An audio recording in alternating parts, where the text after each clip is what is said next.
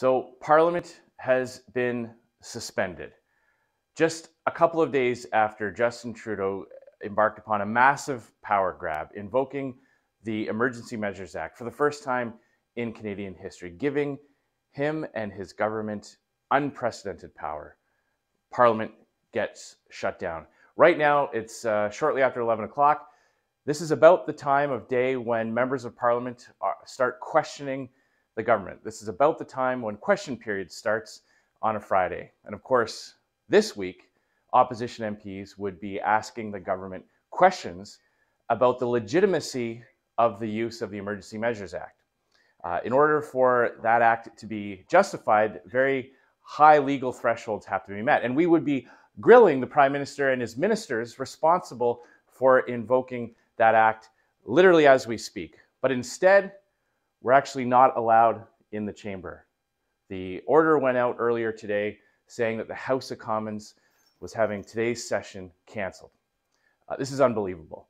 At the very moment when Trudeau and his government is grabbing extraordinary power, the power to freeze someone's bank account, the uh, power to stop people from moving around in downtown Ottawa, the ability to, uh, for the police to compel other people to assist them in dealing with the protests. These are extraordinary powers that have never been granted before in Canadian history under this piece of legislation. And instead of being able to, to, to, to, to grill the government, to ask questions, to expose the hypocrisy of Trudeau and his cabinet, the House of Commons sitting has been suspended. This is unbelievable, ladies and gentlemen. This has been a very difficult two years. And this isn't the first time that Trudeau has tried to give himself powers unchecked by Canada's parliamentary democracy. Remember, in the first few days of the COVID 19 pandemic, in, in, those early days when, when, uh, when a lot was unknown about the virus, Justin Trudeau's first attempt at emergency legislation two years ago was to completely sideline Parliament. He tried to give himself, give himself the power to tax and spend without any kind of parliamentary oversight. That was his instinct. His instincts during an emergency, during a health emergency, during a pandemic, was to take away the check on his power, was to try to uh, remove parliamentary oversight from the day to day operations of his government. That is the type of person that Justin Trudeau is. And now, this week, he invokes the Emergency Measures Act. And you're going to see a lot of people in the government try to justify this by talking about restoring law and order, about safety. But let's keep in mind that two, uh, one of the biggest reasons, one of the biggest justifications for using the Emergency Measures Act was to free up, in, in the government's own words, to, to open up vital transportation links. Well, there's a couple things to remember. The blockades on the Ambassador Bridge, which, by the way, conservatives were very clear in condemning. We believe that people have the right to protest peacefully, but that they don't have the right to impinge on other people's freedom. And when uh, it was clear that vital supply chains were being affected, uh, we were extremely clear in our desire to see those vital transportation routes open. But remember in 2020, when anti energy protesters were blocking rail lines in central Canada because of a natural resource project several provinces away in British Columbia, Trudeau did nothing to clear the rail lines then. In fact, not only did he do nothing to clear the blockades, he actually sent a government minister to negotiate with the protesters. They were setting things on fire on railway tracks. Trudeau didn't see the need for emergency measures then. He didn't talk about freezing anyone's bank accounts when it was anti energy protesters, crippling the Canadian economy. That lasted for weeks. The difference in 2020 to this protest is that Justin Trudeau agreed with the anti energy protesters back in 2020. So he allowed them to continue. Now in 2022, when people are protesting against his mandates, his restrictions, well, now he's bringing down the heavy sledgehammer of the Emergency Measures Act. And let's keep in mind that's what this protest was all about. As jurisdictions within Canada and around the world, we're easing restrictions. We're allowing people to go back to normal, lifting mandates. Trudeau brought in a new mandate, a new vaccine mandate on truckers. Now, many people have been affected by unjust vaccine mandates. I know people who have lost their job because they wanted to make their own healthcare choice. And conservatives have always been clear that we believe in vaccines. We believe that vaccines are the best way to fight the pandemic, but we also respect individual liberty and, and, and individual choice. And we don't believe that anybody should be forced between keeping their job and making a healthcare decision that they may not be comfortable with, that the government shouldn't have that kind of power. You don't want to live in a country where the government can compel you to do those kinds of things. And that's the principle that conservatives stood on individual liberty, individual choice. So, at the very moment when governments here in Canada, several provinces, jurisdictions around the world were lifting restrictions, Trudeau brings in a new one, and people started protesting. And what did Justin Trudeau do then? A lot of talk throughout his career in the early days when he was in opposition, talking about the need to have dialogue with people who are upset, to uh, hear both sides, to not demonize people for having a different point of view. What did he do this time? He insulted them. He started uh, dehumanizing them, referring to people who have who have questions about making a healthcare decision. Started calling them racist, misogynist. Keep in mind, this is the guy who did blackface so often that he can't remember how many times he did it. This is the guy who fired his attorney general because she, a strong woman, wouldn't go along with his corruption, wouldn't go along with his attempts to interfere in a criminal court case. And he has the gall, he has the audacity to call other people misogynist, to call other people racist. So instead of trying to de escalate the tensions and hear the protesters, he added fuel to the fire and he inflamed the rhetoric, started calling them the fringe minority. Ladies and gentlemen, I've been walking throughout Ottawa over the past few weeks. I've met people who are double vaxxed, triple vaxxed. They're not protesting against uh, uh, legitimate measures to keep people safe. They're protesting against government overreach. And how does Trudeau respond to protests against his overreach? By embarking upon another overreach, a massive power grab, giving himself unprecedented powers. And it's so frustrating watching many in the corporate media, the legacy media, try to cover for uh, for Trudeau on this. The, the state broadcaster, the CBC, gets $1.3 billion of tax money uh, to operate. And their news division is working overtime to try to discredit those protesting and to try to justify and cover for Trudeau's use of the Emergency Measures Act. They even had one of their anchors, one of their uh, on air hosts, speculate that maybe the Russians were behind this protest, uh, saying that the word freedom was somehow linked to the far right, that those who want personal freedom and individual liberty, uh, anybody advocating for that must be a member of a fringe group. This is the state broadcaster at work here in Canada, uh, even going so far as justifying the use of the Emergency Measures Act by saying that it's not affecting civil liberties. Well, when the government has the power to freeze your bank account without due process, that sounds like an infringement on civil liberties to me. When the police can force a tow truck driver into action, compel him, basically conscript him into assisting the police, that certainly sounds like an infringement on civil liberties to me as well. And now, at the very moment when Parliament should be debating the use of the Emergency Measures Act, we should be holding the government to account, asking the tough questions, Parliament gets cancelled. We've heard expert testimony this week in committees, House of Commons committees, doing very important work, hearing from the head of intelligence agencies saying that there was no evidence that, uh, that, that, that these measures were necessary, that there's no evidence that the government could provide to justify the use of extraordinary power to freeze bank accounts. Now, last night in British Columbia, there was a, a horrific attack on the Coastal GasLink project. Earlier reports indicate that several workers were injured. Uh, even a police officer may have been injured by the attack. Reports are still coming in. It's still early details. But it seems clear that violent, armed thugs smashed equipment and threatened people's personal safety. Is the media going to cover that? Is the corporate media here in Canada going to talk about the, the radical left wing activists, the, the far left groups who are willing to do violence to achieve their aims? Well, we'll see. Ladies and gentlemen, this is a very difficult time for many, many Canadians. Uh, we've been through two years of health uh, uh, of a health emergency, people legitimately concerned about their own health and the health of their friends and loved ones, legitimately worried about the effects of COVID 19 on themselves and their family.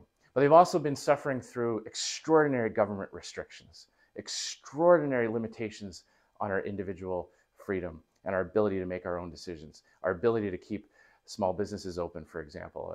Uh, uh, we've had situations where the governments told people who they can have in their house.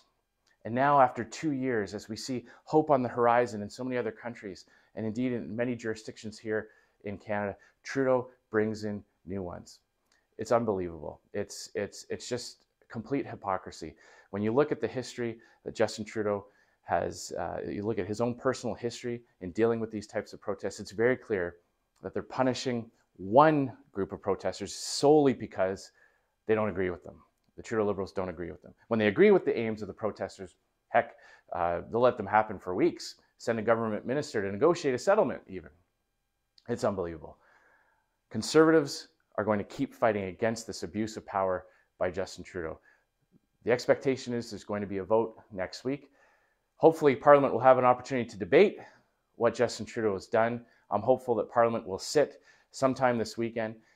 But one thing's for sure Justin Trudeau can no longer claim to, to, to, to in any way be a consistent prime minister, to, to, in any way to have any kind of integrity in terms of his reaction, his approach to dealing with these types of things. So I'm happy to take some of your questions. I know there's a lot, uh, a lot going on. Um, is this a, someone just asked, is this a vote of confidence?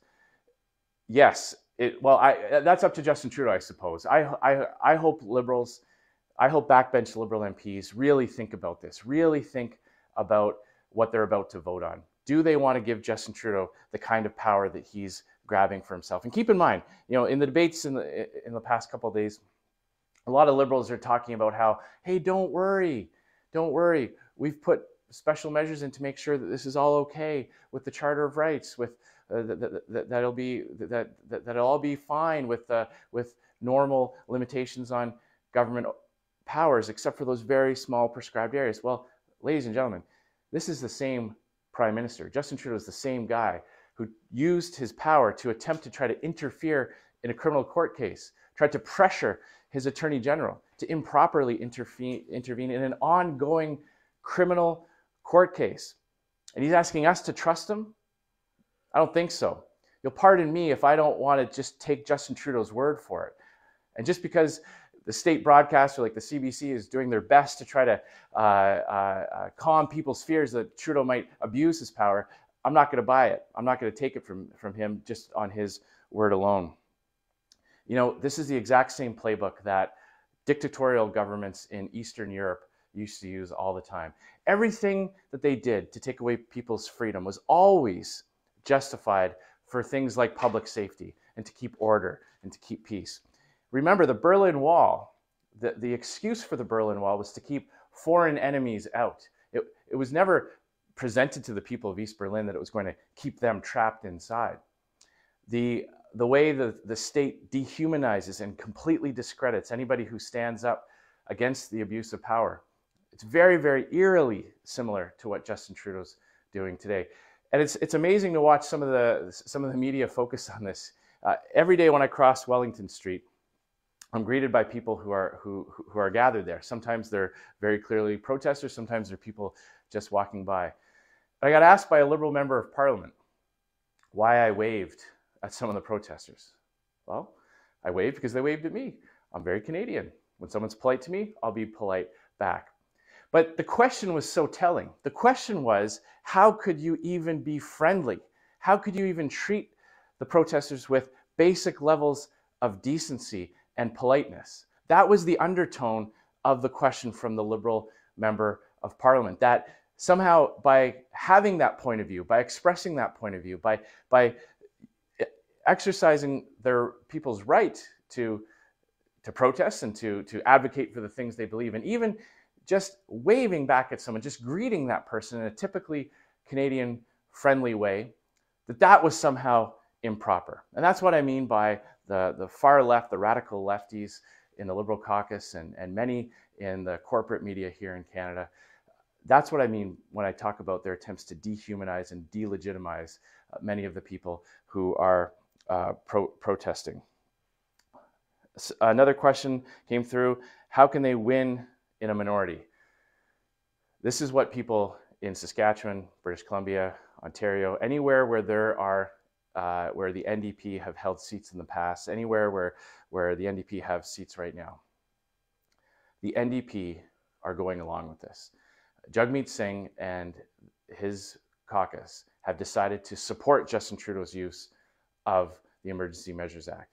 This is unprecedented for the NDP. The NDP uh, have at least had a consistent approach to putting limits on government overreach as it relates to people protesting. Uh, they voted against the, the use of the War Measures Act uh, in, under the previous Trudeau government.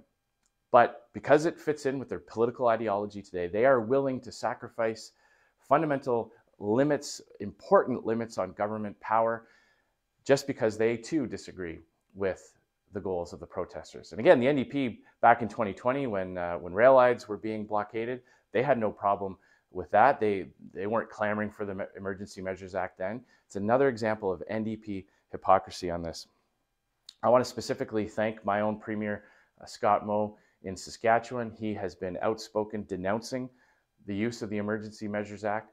Uh, I understand Premier Jason Kenney has as well. I hope more and more premiers start to push back uh, against this abuse of power. You don't want to live in a country, whatever your opinion on the protests are, and I, and I, I, I get it there are a lot of deeply held views on many different sides of, uh, of the debate, both around the restrictions around COVID and the timing of lifting them. But whatever your opinion may be, you don't want to live in a country where the prime minister of the day just gets to decide which protests to crack down on, which protests to grant himself unprecedented power, and which ones he's just going to leave go because he happens to agree with them. You don't want to live in a country where the prime minister gets to make those decisions just because of his own personal views. And that's exactly what we're seeing today. The, the, the, there are arrests being made in Ottawa today based on existing laws. The Ambassador Bridge was cleared out based on existing laws and existing law enforcement tools. There's no need for the Emergency Measures Act. There's, there's no extra level of legal authority that police need in order to uphold the existing laws. What they have done is they've used the Emergency Measures Act to grant the government extraordinary powers to freeze bank accounts, to compel people into assisting the police. And none of that was necessary to keep our vital transportation routes open.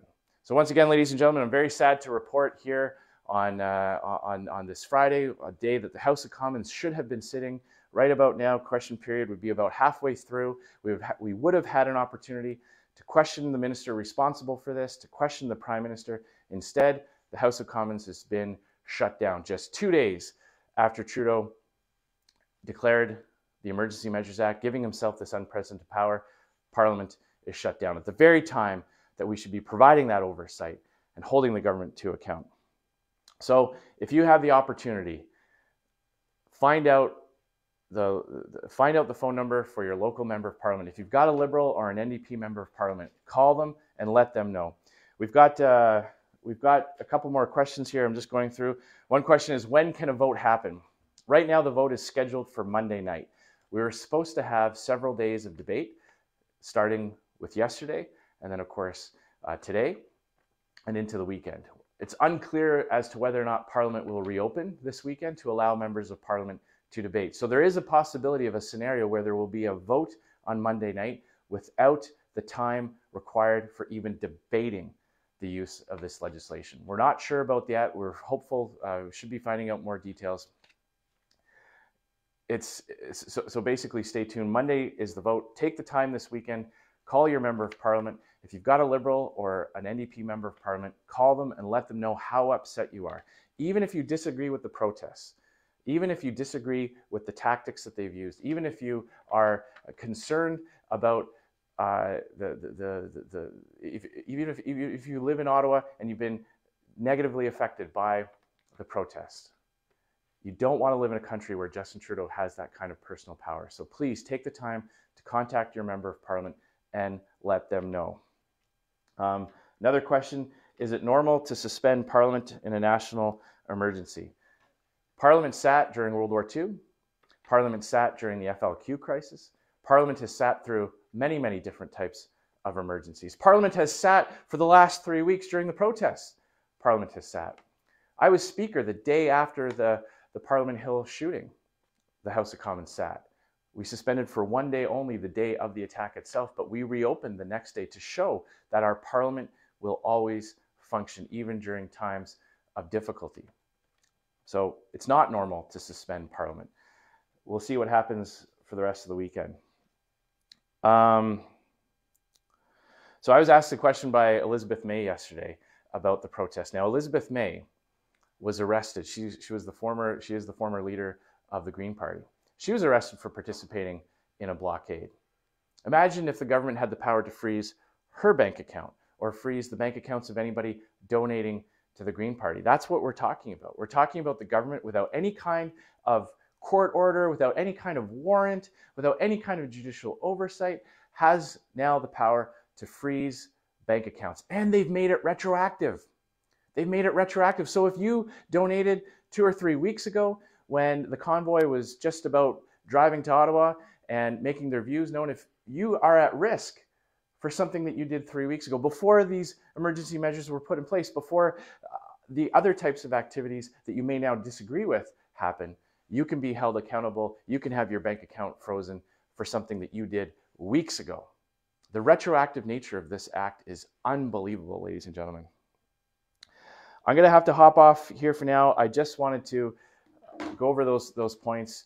A lot of people are very frustrated. I've had so many emails and phone calls, people saying, What can we do to help? How can this happen in Canada? How can this happen in, in, in what is supposed to be a strong, vibrant democracy? Well, I can only tell you that conservatives are doing everything we can to stand up for your individual liberty, for your fundamental rights, and for the natural limits on government power. We're going to keep up the fight. But please take the time this weekend, let your views known, reach out to NDP and Liberal members of Parliament and let them know that you're upset, that you're not happy, and tell them that you will remember this at the next election. We, we cannot reward parties that abuse their power like this. Justin Trudeau has to be taught a lesson. Remember this day, remember this week as we go forward, as, as this minority parliament continues, we don't know when the next election will be. It could happen anytime. Just make sure you remember this. Tell your friends and your family to remember this. This cannot be allowed to happen in a democracy. Other countries around the world are taking notice of this. Other countries with terrible human rights records are now attacking Canada because Justin Trudeau has decided to do this without any justification, without meeting the legal threshold for the use of this Emergency Measures Act. It's unbelievable. So we're going to keep fighting. Take the time to contact those Liberal and NDP members of, Parliament. Thanks for tuning in, and I'll be providing updates throughout the weekend as we uh, as we get a little bit more information about the vote on Monday and how the debate in the House of Commons will go. Thanks very much.